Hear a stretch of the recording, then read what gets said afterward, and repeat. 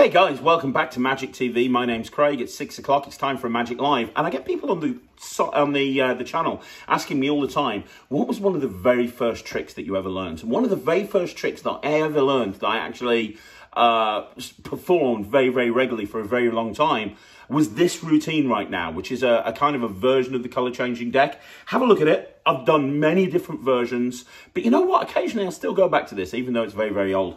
Have a look at it uh, uses a pack of playing cards.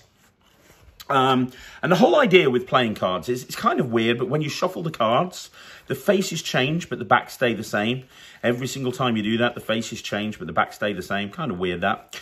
But we're going to try something um, with this deck of cards. Ryland, what I would like you to do is just touch any card that you want to.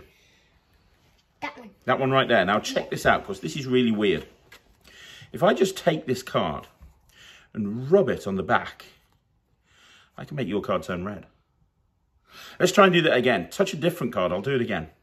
Touch a different card. Mm. The ace, yeah? Yeah, another ace. Yeah, let's try this. You see, it works the same way. If I just take that ace and do this, that one turns red.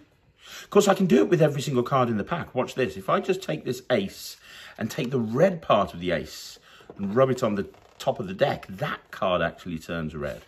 But if I leave it on top of the deck and snap my fingers, what happens is every single card in the deck turns red. Every single one of them. And that is a color changing deck. Guys, it's one of my favorite tricks. I still do it to this day. It gets an amazing impact, especially as an opener. Have you ever done anything similar to that? Let me know in the comments down below. Thanks very much for watching. Subscribe to the channel. I'll see you tomorrow. My name's Craig from Magic TV.